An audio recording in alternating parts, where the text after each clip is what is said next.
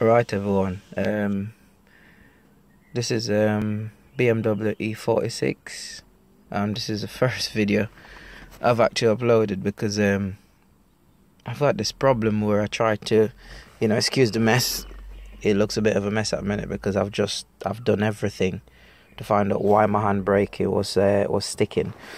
So um, I've removed all the covers. I remove um, that over there. Um, basically it's the thing in the middle.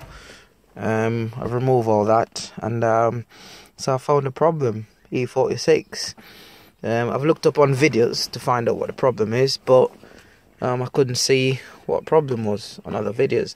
So this is a E46 2003 BMW uh, it's a convertible. Um, don't know if that make any difference. But um, was clicking. What happened it was when I was pulling it up there wasn't any click. So all was happening was this up and it was just going back down. Just up and falling. So I had to find out what this problem is and I found it. So let me show you real quick what the problem is. What happened was I think the spring was clicking. So right, let me see if you can see um, this little thing there. Um, right, let me try and get it right into focus. You see that there? That little clip? That was ticking out like that. So that's why I was going straight down.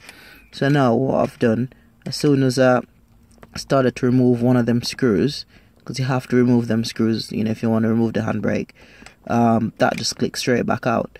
So it was just stuck in inside. So this button here that I was pressing, this was just in. Nothing was happening it wasn't releasing.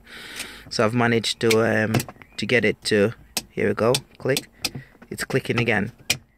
So now it's working. Um, yeah so that little thing down there that was a problem.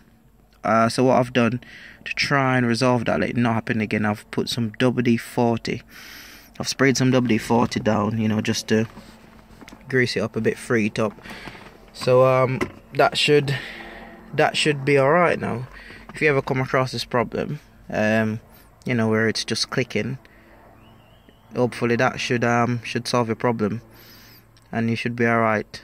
And just, yeah, just spray some WD-40. So it's a spring, it's a spring inside this bit um, that is stopping it from happening.